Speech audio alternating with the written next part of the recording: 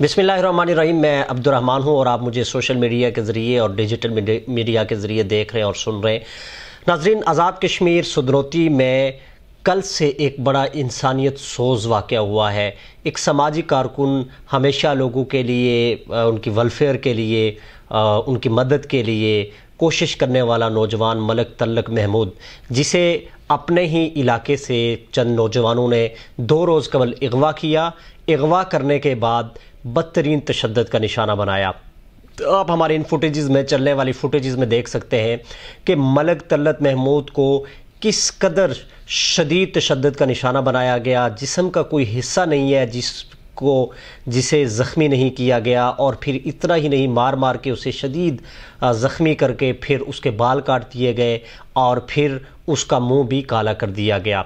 इतनी दलेरी के साथ, इतनी जुर्रत के साथ वो नौजवान आखिर कौन थे कि जो वीडियो भी बनाते रहे अगवा भी किया और फिर कई घंटों तक अपनी हिरासत में रखा और उसके बाद तल्लत को जो है बहुत ज़्यादा उसे तशद का निशाना बना के आखिर उसे छोड़ दिया गया और ऐसे वाक़ात में मैं समझता हूँ कि तल्लत जो है इस तशद के बाद वो ज़िंदा कैसे है। उन्होंने अपनी तरफ़ से तो इसे भरपूर मारने की कोशिश की ताकि वो ज़िंदगी की बाजी हार सके। आ, बड़ी अजीब और दर्दनाक सूरत हाल है। जो भी मामला हुआ हो जिस जिस नोयत की नोयत का भी आपस में दुश्मनी हुई हो इख्तलाफ हुआ हो तो ये तरीक़ाकार नहीं है कि आप कानून को अपने हाथ में ले लें।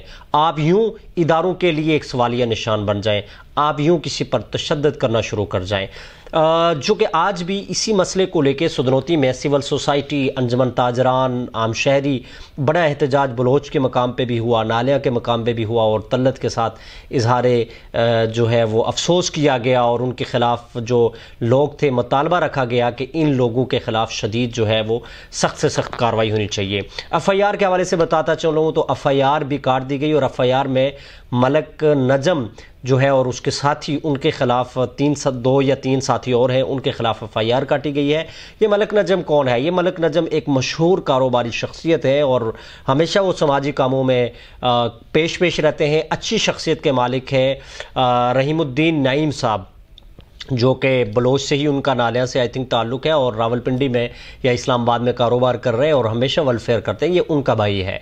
अब तलत की तरफ़ से उसके फैमिली की तरफ़ से ये ये सोशल मीडिया पे भी नईमुद्दीन साहब के ख़िलाफ़ जो है वो आ, ये लिखा जा रहा है। लेकिन उन्होंने अपना एक वीडियो पैगाम जारी किया और इस सारे मामले से ला ताल्लुकी का इजहार किया और शदीद अल्फाज में मजम्मत की और कहा कि हम उस फैमिली के साथ खड़े हैं और उन्होंने अपने भाई के इस अमल में शदीद मजम्मत भी की। अब देखना यह है कि हमारे कानूनी जो इदारे हैं हमारे कानून नाफिज करने वाले जो इदारे हैं, हमारे डिप्टी कमिश्नर, एसपी, पुलिस, आखिर वो कितने जल्दी जो है इन मुलजिमों को और इन मुजरिमों को पकड़ते हैं और उनको सख्त से सख्त कड़ी सज़ा सुनाते हैं। इसी नोयत का एक वाक़ सुदनौती में आज से एक साल पहले हुआ था। पलंदरी के एक मशहूर कारोबारी शख्सियत है, उन्हें अपने इलाके के चंद नौजवानों ने ऐसे ही सरेराह पकड़ के अपनी गाड़ी में इतना मारा, लहूलहान किया, उन पे वार किए, कल्हाड़ियों के वार किए कि उनके एज़ा को जैसे कोई काटता है, ऐसे उनके जिसम पे कट लगे हुए थे। और फिर क्या हुआ कि उनमें से एक भी मारने वालों में से नहीं पकड़ा गया और वो भाग गए। पुलिस में एफआईआर तो हो गई, एफआईआर तो काटी गई, लेकिन उन्हें इंसाफ नहीं मिला। इसका नतीजा ये हुआ कि जब वो बार बार वो शख्स सोशल मीडिया पे भी लिखता रहा कि मुझे इंसाफ नहीं मिला और अगर मुझे वो लोग मिल गए तो मैं उन्हें जान से मार दूँगा। बहुत समझाया, लेकिन कैसे समझता कि बिला वजह वजह भी नहीं है और किसी मामूली तलख कलामी पे उन्होंने इतना जुल्म किया था। अब मलिक तल्लत का कसूर क्या था? अब आज के होने वाले एहतजाज जिसमें ज़िम्मेदारान के मुताबिक, तल्लत के मुताबिक, उसकी फैमिली के मुताबिक, तल्लत ने भी एक एक एक बयान जारी किया कि उन्हीं के अपने गाँव में एक लड़की जो कि अभी 18 साल से कम थी, वो उसे अगवा किया गया। अब अगवा किया क्या कहानी थी? किसी के साथ भाग के गई या कोई भगा के लेके गया या कोई उठा के लेके गया? तो बहरहाल एफ़ आई आर में तल्लत ने उस फैमिली का साथ दिया, चूँकि वो बहुत ज़्यादा नीडी लोग थे, गरीब लोग थे, और तल्लत ने जब उनका साथ दिया तो तल्लत का ये कसूर था, और आखिर उन्हीं लड़कों ने तल्लत को ताड़ में रखा, अपनी गाड़ी में उसे डाला अगवा किया, फिर शदीद, इसका कसूर ये था कि शदीद इसी वजह से उसे तशद का निशाना बनाया कि आप हमारी इस फुटेज में देखें कि हमारी इस फुटेज में आप देख सकते हैं कि तल्लत के जिसम में किस बेदर्दी के साथ उसे कट, यूँ लग रहा है किसी के किसी चीज़ के साथ उसे काटा जा रहा था। और कितना जदोकोप किया, किस कदर निशाना तशद का निशाना बनाया गया, उसके बाल काट दिए गए और उसका मुँह काला कर दिया गया और इतनी ज़्यादा दिलेरी कि वीडियो बना के वो सोशल मीडिया पे चढ़ा रहे हैं। लेकिन इस वाक़े को आज दूसरा दिन है तो आखिर वो लोग पकड़े क्यों नहीं? गए सवाल है हमारी इस पुलिस से, सवाल है हमारे अपने महकमों से। आपको याद होना चाहिए कि सुदनौती वो इलाका है जहाँ पे अगर कत्ल के केसेस के रेशो को देखा जाए तो इस वक्त सबसे टॉप पे है। रिसेंटली जो एक रिपोर्ट आई है तो सुदनौती पहले नंबर पे है पूरे आज़ाद कश्मीर में। तो आज़ाद कश्मीर की पुलिस पे, आज़ाद कश्मीर के महकमों पे सवालिया निशान है। यहाँ पे तो आप एफ़ आई आर काटने के लिए जाएँ तो लहतो लाल से काम लिया जाता है। यहाँ पे तो हमारे महकमों पे बैठे हुए ऑफिसरान जो है, वो पैसे लेके केस की शक्ल को और शेप को ही बदल देते हैं। एफ़ आई आर काट, गलत काट दी जाती है।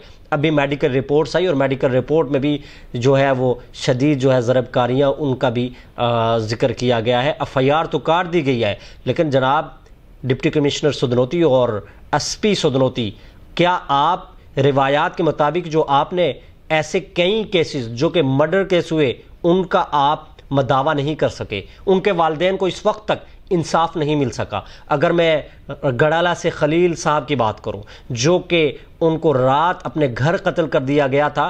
पूरे आज़ाद कश्मीर के दर्जनों ऑफिसर्स को उसकी इन्वेस्टिगेशन में लगाया गया, लेकिन इस वक्त तक कातिल नहीं पकड़े गए। पलंदरी से अगर बात की जाए तो वहाँ दहार तरज से एक मलक फैमिली से एक नौजवान को बेदर्दी से कत्ल करके उसको एज़ा को काट दिया गया था, लेकिन उसके कातिल नहीं मिले। तराड़खल से अगर वो एक मजजूब शख्स आपको याद हो, उसका कत्ल हुआ था, उसके कातिल नहीं मिलेंगे। बलोच में कुछ कत्ल हुए अभी कुछ कुछ ऐसे ऐसे कत्ल हुए जिनका इस वक्त तक उनके कातिल नहीं पकड़े गए। तो आखिर आप क्या कर रहे हैं? आपकी रिस्पॉन्सिबिलिटीज़ क्या है? आप क्या चाहते हैं? अगर आपका यही रवैया ना होता तो आज ये मलक तल्लत को मारने वाले लोगों को कानून का एहसास होता। आखिर क्या वजह है? क्या इंसानियत हमारे मुल्क में इतनी ज़्यादा गिर चुकी है। हमारे हमारे जो इदारे हैं वो इतने ज़्यादा माजूर हो चुके हैं। जनाब, गवर्नमेंट की अगर बात की जाए तो गवर्नमेंट खुद लैतो लैल से, खुद खुद कभी कोई आता है, कभी कोई जाता है, कभी किसी को लाया जाता है, कभी किसी सरमाए की बुनियाद पर कोई आता है, कभी कोई कोई दरवेशी की बुनियाद पर उनका इंतखब होता है, लेकिन हमारी आवाम माशी तंगदस्ती तो थी ही, माशी बदहाली तो थी ही थी। लेकिन अगर बात ये की जाए कि लोगों के लोगों के, लोगों की लोगों की इज़्ज़त, जान, माल और आबरू अब महफूज नहीं है। अगर शरी नुक़ नज़र से देखा जाए जब आपकी इज़्ज़त महफूज ना हो, जब आपकी जान महफूज ना हो, जब आपका माल महफूज ना हो तो ऐसे इकदाम के ख़िलाफ़ जिहाद फ़र्ज़ ऐन हो जाता है। तो ना जाने ये हमारे जो ऑफिसरान, जो ब्यूरोक्रेट्स इतनी हैवी सैलरीज ले रहे हैं, जिनको इतनी मराहत मिली हुई है, गाड़ियाँ उनको मिली हुई हैं, घर उनको मिले हुए हैं, लेकिन फिर भी उनकी रिपोर्ट्स और उनकी कारकर्दगी अगर देखें तो मुकम्मल तौर पर ज़ीरो है। मैं इस वक्त इंग्लैंड में हूँ और यहाँ पे कोई सवाल ही नहीं पैदा होता भाई कि आप एक सिग्नल तोड़ के, एक मामूली सिग्नल तोड़ के तो आप कानून की गिरफ्त से बच सको। इंसानियत तो दूर की बात, एक किसी लड़की को अगर कोई हरासमेंट कर रहा है, कोई छेड़छाड़ कर रहा है तो विद इन मिनट्स वो पकड़ा जाता है। किसी की चोरी हो जाती है तो वो विद इन मिनट्स वो ट्रेस हो जाता है। आखिर क्या वजह है कि थोड़ा सा एरिया लाखों की आबादी वाला सदनौती वो आपसे संभाला नहीं जा रहा, जिसपे चार आई थिंक सचोज बैठे हुए हैं जिसमें पूरा महकमा बैठा हुआ है, जिसमें आपको सैकड़ों पुलिस के अहलकारान हैं। आखिर क्या वजह है? हाँ मुझे अपनी अदालतों से भी कोई उम्मीद नहीं है कि मलिक तलत को इंसाफ मिलेगा। चूँकि अगर ये लोग पकड़े जाते हैं तो मुझे याद रखिए, कल ही ये लोग जमानतों पर रिहा हो जाएँगे। फिर हो गया क्या? तारीख तारीख तारीख। मलक तलक देखता रहेगा, कब ये लोग कानून की गिरफ्त में तो आ गए, इनको सज़ा कब मिलेगी? इनको और और मेरे उन उन ज़ख्मों पे उनका मदावा क्या होगा? फिर आखिर होता क्या है कि ऐसे नौजवान बंदूक उठाते हैं? ऐसे नौजवान जो उनके उनके जिसम में दौड़ने वाला खून और गुस्सा जो होता है फिर वो कत्ल के इकदाम की तरफ़ चले जाते हैं। सबसे बड़ा कसूरवार इस वक्त हमारी पुलिस, हमारा डिप्टी कमिश्नर, हमारे एस पी साहब और हमारे ब्यूरोक्रेट्स हमारी अदालतें हैं और ये हुक्मरान हैं जिन्होंने कोई इस पे चेक एंड बैलेंस नहीं रखते। ऐसे करप्ट ऑफिसरों को चाहिए यह है कि इन्हें सस्पेंड किया जाए, इन्हें मातल की इन्हें इन्हें नौकरी से फारिग किया जाए और सिफारशियों की बुनियादों पर आपने ये पुराने बाबे और ये पुराने दौर के लोग ला के बैठाए हुए जो कि पटवारी से होते हुए, रिश्वतें लेते हुए डिप्टी कमिश्नर तक और एसपी तक पहुँच जाते हैं। लेकिन इंसाफ के मुतलाशी लोग, आपके एक एफआईआर के लिए लोग जलील ख्वार हो रहे होते हैं। कौम को मेरे ख्याल में ये ज़रूरत पैदा करनी होगी।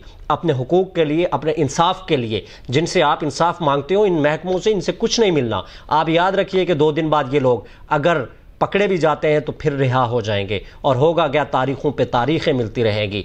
तो इसका हल सिर्फ़ और सिर्फ़ यही है कि इज्तमाही तौर पर इन ऑफिसरों के खिलाफ, इन ब्यूरोक्रेट के खिलाफ ऐसे, ऐसा आपका बयान यह होना चाहिए कि इनको ज़िला बदर करना चाहिए। अगर ये मामला को हल नहीं करते, उन जजों के खिलाफ भी ज़रूर बात होनी चाहिए। तोहन अदालत का खौफ तो है, लेकिन जब आप अवामी एहतजाज में इसको हिस्सा बनाएँगे तो यकीनन कुछ ना कुछ मदावा हो सकता है। मेरी हुकूमत आज़ाद कश्मीर से ज़रूर ज़रूर गुजारिश होगी कि सुदरोती में होने वाले तमाम कत्ल, अगर महकमा पुलिस और यह हमारा महकमा इस पर दुरुस्त इन्वेस्टिगेट करे और अपनी अपनी कार्रवाइयाँ करे, पुलिस जो है वो अपनी अपनी ड्यूटी सही तरीके से सर अंजाम दे। तो ये बुराइयाँ, ये कत्ल, ये चोरियाँ और ये डकैतियाँ और यूँ सरेआम बदमाशियाँ ये ख़त्म हो सकती हैं। दो दिन गुजर गए लेकिन आपने मुलजिमों और मुजरिमों को पकड़ा तक नहीं। इतनी बड़ी अंधेर नगरी वो जो पलंदरी से ताल्लुक़ रखने वाला मशहूर कारोबारी इमरान सत्ती जो कि आज वो कतर में है इस मुल इस, इस इस सिस्टम से मायूस होकर कि पूरा साल बेचारा वो वो वो इस पुलिस के लिए और इंसाफ के लिए करता रहा। लेकिन आज जो हमारी पुलिस कोई कार्रवाई नहीं की, एक बंदा नहीं पकड़ा गया। क्या उनको ज़मीन खा गई इन लोगों को, जो तीन चार लोग एफआईआर में थे? कहाँ चले गए भाई? यही होगा, मुल्क के बाहर चले गए। तो आप क्या कानून मौजूद नहीं है कि उनको मुल्क से बाहर लाएँ? यूँ कत्ल करके मुल्क छोड़ के आप भाग जाओ। यूँ आप लोगों के साथ जुल्म और इंसाफ करके आप भाग जाओ। तो क्या आपका, आपने कानून नहीं पढ़ा कि वो कानून क्या है? तो अगर कानून की बालादस्ती नहीं होगी तो फिर वो सोसाइटी नहीं रहेगी, वो माशरत तबाह हो जाएगा। फिर वहाँ पर हर जुर्म होगा, वहाँ पे फिर कत्ल होगा, वहाँ पे फिर इसी तरह इंसानियत सोज वाक़ होते रहेंगे। मेरी तमाम सदनौती के रहने वालों से गुजारिश है कि इस तल्लत के मामले को लेके भरपूर अपना एहतजाज करें, उसके साथ भरपूर अपना साथ दें, वरना कल आपका नंबर भी हो सकता है। अगर यूँ धीरे धीरे और ग्रेजुअली जो मर्डर्स हो रहे हैं, इस तरह लोगों को मारा जा रहा है, इस तरह तशद किया जा रहा है तो ये एक रवाज चल पड़ेगा और इस रवाज को ख़त्म करना आपकी ज़िम्मेदारी है, हमारी ज़िम्मेदारी है अब उम्मीद करते हैं कि हुकूमत आज़ाद कश्मीर इस मामले को संजीदा लेते हुए रिवायात के मुताबिक महकमा पुलिस हो या इंतज़ामिया हो, उनके, उन पर ही नहीं ये मामला छोड़ेगी, बल्कि ज़रूर हुकूमती लेवल पर इस इस अहम नोयत और इस मसले को संजीदा से, संजीदगी से लिया जाएगा। खुदा हाफिज़।